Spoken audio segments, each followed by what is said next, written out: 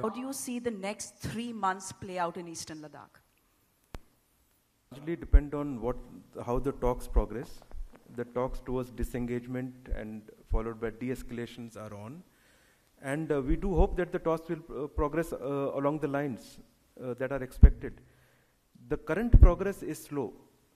Uh, what we see is uh, increase in effort to dig in for the winter in terms of uh, forces on ground, in terms of deployments of air assets that have happened in the airfields close by. So we are taking our actions also accordingly. So it will largely depend on how the talks progress. The whole focus is currently on the talks. And uh, we also hope that the talks will progress in the right direction.